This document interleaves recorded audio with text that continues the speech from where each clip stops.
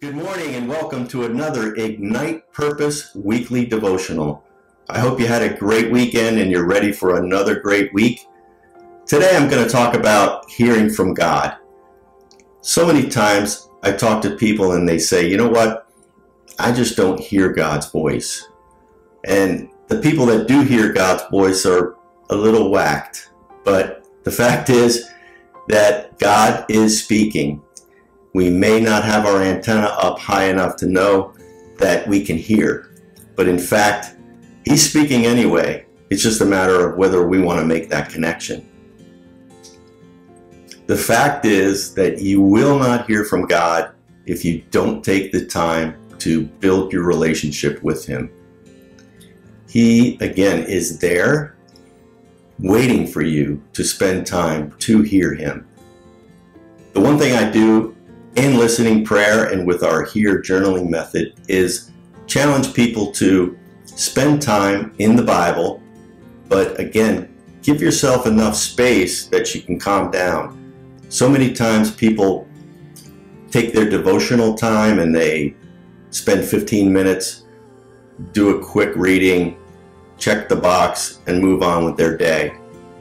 Sadly, that doesn't always fill the bill oftentimes it just leaves you feeling empty.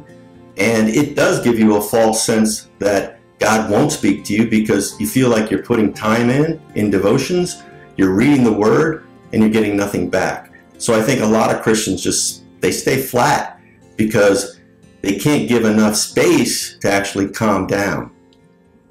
So the first step in hearing God's voice is to calm down. If that takes you five minutes, awesome. In my case, it often takes 15 minutes just to listen to praise and worship and calm down. Find a place where I actually can be peaceful. Forget about the things that are pulling me, the busyness of the day. I do it in the morning when I'm hardly awake so that I can truly have peace and, and wait and listen. Two, I actually use the Bible. I jump in the Word. For years, I, I would read devotionals from other people, and sometimes I would get great epiphanies and be led to act in new ways and better ways, but oftentimes, it, again, it would leave me flat. So, what I do now is I actually read the Bible, and I spend time reading a verse and usually it's a passage, it's not just one verse, because a lot of times we read a verse and we think we're good, but in fact, the context around that verse is leading us in a different direction. So I'll read a longer passage now, and inevitably something jumps out at me. I can't say it's like the words jumping off the page or my heart flutters, but usually I'm intrigued by a passage, a verse in that passage that jumps out a little bit more than the others. I use a website called easyenglishbible.org. It's a really easy way for a guy like me who isn't as studious as others to just get the context around verses and passages and really understand who it was written to and why it was written. And it really helps me to understand the passage and the verse itself. Then the big challenge comes to apply it to my life for that day.